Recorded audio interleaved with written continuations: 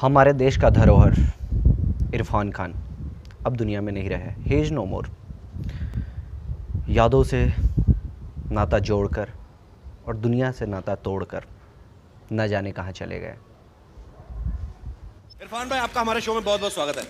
Thank you जी। दुनिया भरी पड़ी है जी। जमाने में जो लोगों के पीछे चलती। सेफ़ बन के रहना चाहती लेकिन कोई कांटों पे चल के अपनी राह बनाए वो यही बंदा है। मान लो मेरी बात वो यही बंदा है। तो हैवानों के ऊपर शैतान सातों लोगों के ऊपर भगवान ऊपर भगवान बॉलीवुड में इरफान। सर ये नया प्रोजेक्ट ना? डिफ़िकल्ट लग रहा है। हाँ क्या? नए प्रोजेक्ट की बात कर रहा हूँ सर। नहीं नहीं वो वर्ड सर प्रोजेक्ट चेकबुक देना।